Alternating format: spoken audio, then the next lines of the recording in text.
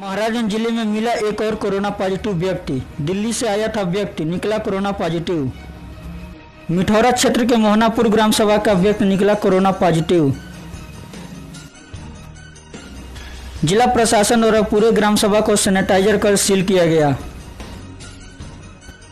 ग्राम सभा के सभी रास्ते पर पुलिस टीम तैनात। ग्राम सभा से बाहर निकलने पर लगी रोक। पॉजिटिव बेटी के पूरे परिवार को किया गया क्वारंटाइन। 9 मई को दिल्ली से आया था व्यक्ति। सर्दी और बुखार से था पीड़ित।